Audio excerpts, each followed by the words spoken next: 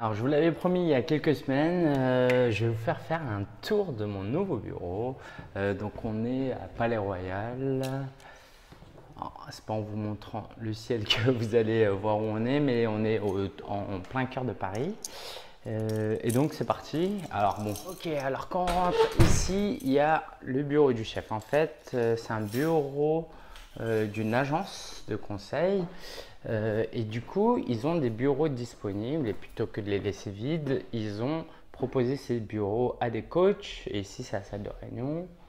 Donc, c'est ici que j'accueille euh, mes clients principalement. Donc, euh, quand les coachs sont pas là, quoi, quand ils sont là, ils sont là. Et puis moi, je suis dans un bureau partagé où il y a presque personne en fait. Moi, je suis là. Alors ce kakemono, c'est parce que je suis en plein lancement du livre, du coup la flemme de le ranger un peu et puis ça fait joli, ça fait un joli fond quand je fais des vidéos. Donc euh, voilà, je suis ici, là c'est mon, mon, euh, espace avec mon livre, des livres que euh, j'ai achetés, que je vais garder, des cartes de visite que j'ai cumulées depuis des années. Donc là, le kakemono. Euh, ça, c'est pour grignoter plutôt sain. Je bois du thé tous les jours. Ça, c'est le guide du blogueur dédicacé par ma fiancée. Voilà. Et donc là, j'ai mon ordi. Alors, j'ai mon ordi portable que je branche tous les matins avec plein de branchements, avec un écran externe. Comme ça, ça me permet de mieux travailler, d'être plus productif. Euh, au lieu de passer d'un écran à un autre, j'ai une bonne webcam là qui me permet de faire des bonnes vidéos. Donc un clavier sans fil, sans fil, mes écouteurs, mes post-it quand j'ai des choses urgentes à faire. En ce moment, je note les vidéos, les idées de vidéos que je veux faire. Ici, c'est un agenda que j'essaye de tenir régulièrement, mais c'est pas facile. Euh, comme ça, j'ai une vue sur la semaine. Donc cette semaine, elle est un peu différente. Alors si, elle est un peu différente parce que samedi, c'est le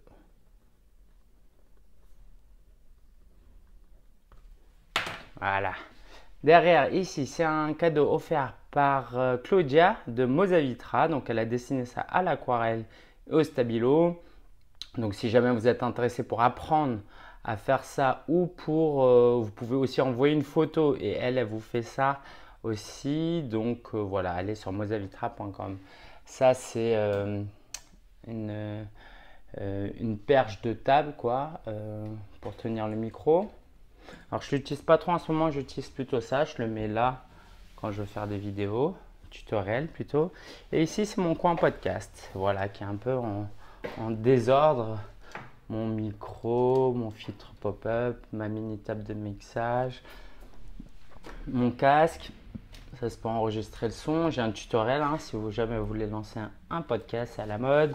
Ça c'est mon casque anti-bruit que j'active quand il y a du bruit autour.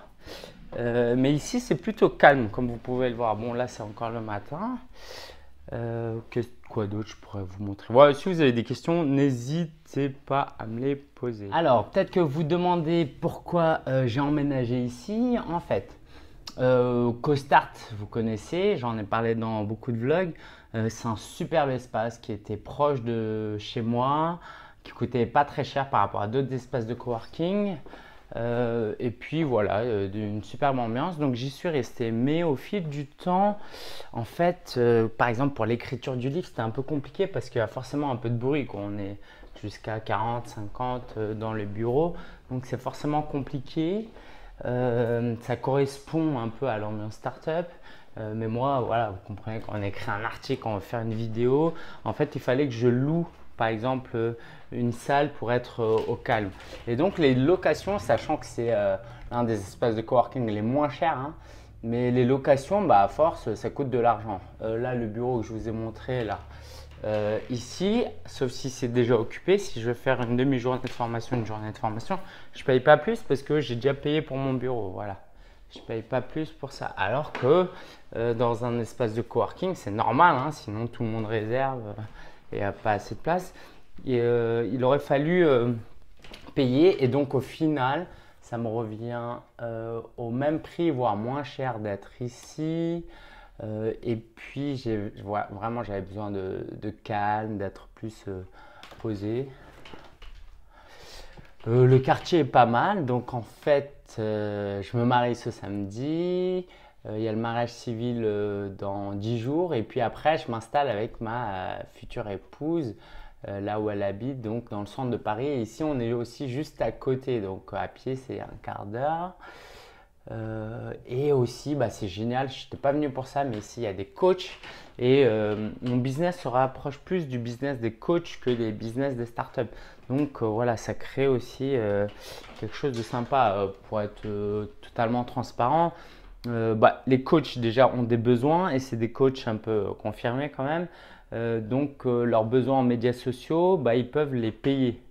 alors que auprès des startups, j'ai presque jamais eu de, clients startup parce que les startups, euh, elles commencent, elles ont peu de trésorerie et puis elles maîtrisent un minimum les médias sociaux. Donc, elles n'ont euh, pas besoin de, mes services. Euh, ici, c'est des clients potentiels. D'ailleurs, c'est une cliente que j'ai rencontrée ici pour la première fois qui m'a introduite ici. et puis, elles ont des clients qu'elles peuvent me recommander à des clients donc ça, c'est vraiment important. Donc, quand vous pensez à où vous installer, voyez, euh, est-ce que c'est un endroit où on peut vous apporter des clients D'accord? C'est bien d'économiser, par exemple, travailler chez soi ou d'être dans un café au coworking ou d'être dans, euh, au CoStart, c'est des moyens d'économiser de l'argent. Et le moins cher, c'est d'être à la maison. Mais si j'avais été une startup, CoStart, ça aurait été parfait. Mais comme je ne le suis pas, ça ne l'est pas pour moi. Donc j'économise peut-être de l'argent euh, mais à côté, je passe, euh, euh, je, perds des opportunités. Donc, mieux vaut dépenser un peu d'argent pour que ça nous rapporte beaucoup plus que d'économiser un peu et que ça nous rapporte peu. après, évidemment, CoStart, c'était des amitiés. J'ai aussi Ezreal, un, de mes meilleurs amis qui est là-bas. J'ai fait connaissance avec les cofondateurs qui m'ont introduit à Aerol, qui m'ont beaucoup encouragé dans l'écriture du livre. J'en parle dans, pas mal de vlogs. Euh, voilà, il y a des choses qu'on ne peut pas calculer, d'accord? Euh, Le choix du bureau, on peut, faire, on peut faire le meilleur choix possible, mais euh, une rencontre au hasard peut nous apporter beaucoup plus. Donc, l'idée, si je peux donner un conseil pour le choix du bureau, c'est de faire un minimum, un minimum de réflexion, mais après de ne pas trop se prendre la tête. Et puis, par exemple, à Costart, il n'y a pas d'engagement. Moi, j'ai suis resté quand même un mois. Euh, ça m'a pas mal apporté. ok euh, par exemple, l'écriture du livre, euh, ça c'est juste énorme. parce que oui, la cofondatrice m'a introduite chez, chez Roll.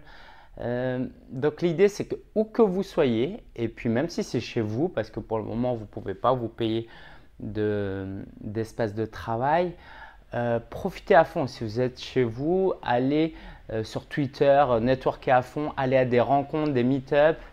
Euh, où que vous soyez, essayez d'en tirer le, maximum. pas d'excuses, on n'a pas besoin d'avoir un bureau comme ça.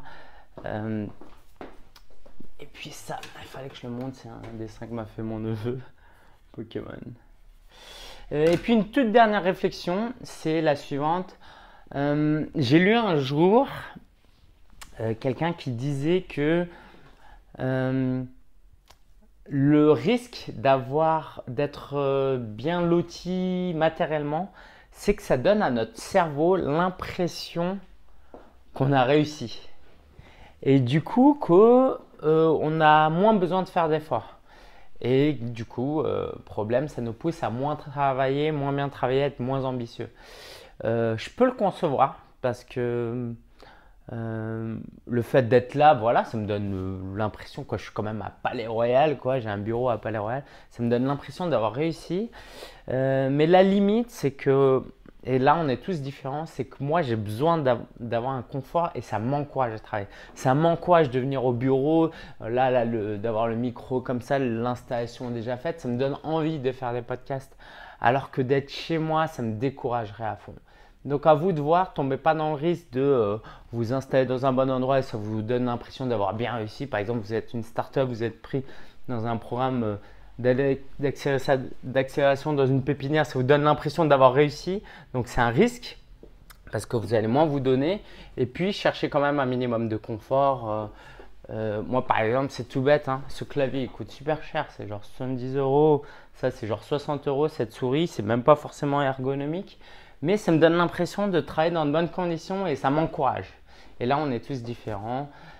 Voilà, voilà. Si vous avez des réactions, je vous, euh, je vous invite à les faire. Et puis, euh, il n'y aura pas trop de, podcasts, de vlogs les prochains jours parce que euh, je me marie.